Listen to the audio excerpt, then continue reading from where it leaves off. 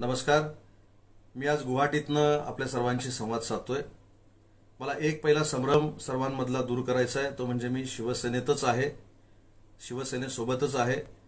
परंतु आपल्या बाळासाहेबांच्या आणि उद्धवसाहेबांच्या शिवसेनेला ज्यांच्या वागण्यामुळं वाईट नजर लागलेली आहे त्या वाईट नजरेतनं म्हणजेच घटक पक्षांच्या वाईट नजरेतनं शिवसेनेला बाहेर काढण्याचा जो निर्णय एकनाथ शिंदेसाहेबांनी घेतला त्यांचं समर्थन म्हणून मी गुवाहाटीमध्ये आलेलो आहे. आणि याच पार्श्वभूमीवर काल रत्नागिरीमध्ये देखील शिवसेनेच्या पदाधिकाऱ्यांची एक बैठक झाली. मला त्यांना देखील एक आवाहन करायचं आहे की कोणाच्याही गैरसमजाला आपण बळी पडू नका. मी शिवसेनेतच आहे. वंदनीय बाळासाहेबांची उद्धवसाहेबांची शिवसेना ही टिकली पाहिजे. यासाठी आम्ही सगळ्यांनी घेतलेला हा निर्णय आहे.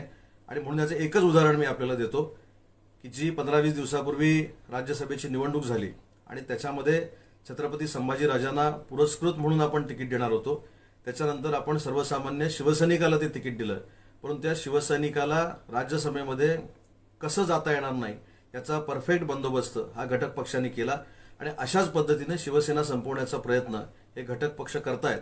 आणि म्हणून या घटक पक्षाच्या वाईट नजरेच्या विळख्यातनं शिवसेनेला बाहेर काढण्यासाठी एकनाथजींनी जी मोहीम आखलेली आहे या मोहिमेमध्ये मी सामील झालेलो आहे. आणि म्हणून कुणीही गैरसमज करून घेऊ नये मतदारसंघातल्या जनतेनं गैरसमज करून घेऊ नये. पदाधिकाऱ्यांनी गैरसमज करून घेऊ नये कोकणातल्या समस्त लोकांनी गैरसमज करून घेऊ नये. मी शिवसेनेतच आहे आणि शिवसेनेचाच विचार पुढे नेण्याचा प्रामाणिकपणाचा प्रयत्न करणार आहे.